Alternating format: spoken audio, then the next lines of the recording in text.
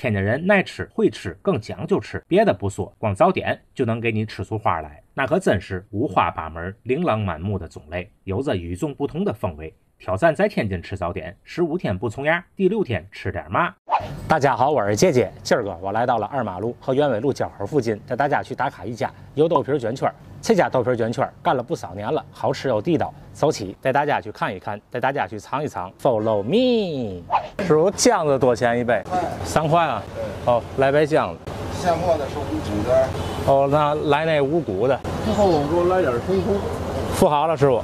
哎哎。就是这家豆皮卷圈，用油豆皮包裹馅料，包裹好，将其切成一段一段的，两头抹上面糊，下入油锅，炸至金黄，捞出，控干油，油豆皮卷圈就炸好了。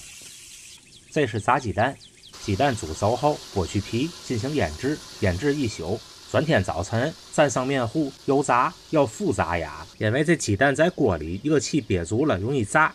捞出来降降温，散散这热气，然后再复炸。而且复炸后外皮更酥脆。师傅，我来一套一角饼，一个卷圈，一个鸡蛋，多少钱？七块。七块，好嘞。一手卡吃一点。付好了，师傅。哎。好嘞，谢谢您啊。我好久没吃过他家卷圈了，尝尝跟之前的味道有变化吗？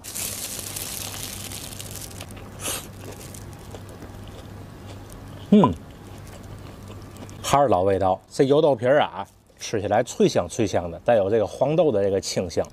然后里面这馅料呢，特别的脆爽，是以绿豆菜为主，里面有绿豆菜、粉条、香菜，调味就是酱豆腐跟麻酱。卷圈呢，大致分为三种皮儿的，一种呢是油豆皮儿，也就是这个熬的这个浓浆子挑的这个皮儿，哎。就是油豆皮儿，第二种呢，就是绿豆煎饼面皮的，以绿豆为主料，辅以大米或者小米等，哎，摊制的这种绿豆煎饼面皮。还有一种呢，就是面皮，大的这个馄饨面皮、云吞面皮。炸卷圈的火候也很关键，如果油温过高的话，它外皮就糊了；如果油温过低的话，炸炸炸炸炸，咕嘟咕嘟咕嘟，它就散了。还有就是这馅料。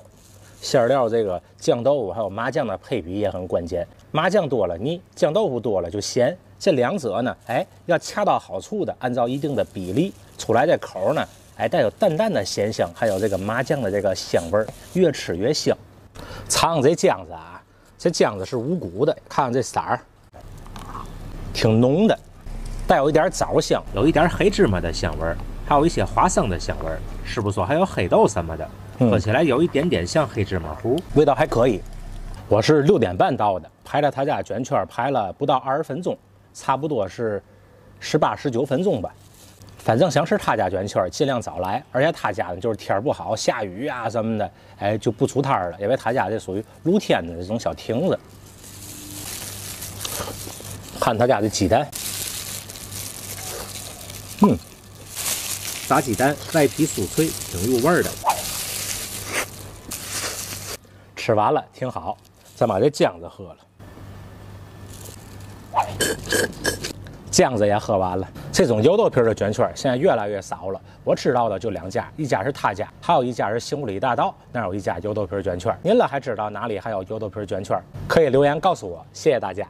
挑战在天津吃早点，十五天不重样。第六天我吃的是饺饼加一个油豆皮卷圈加一个炸鸡蛋，还有一杯无骨的姜子。哎，这搭配棒棒哒！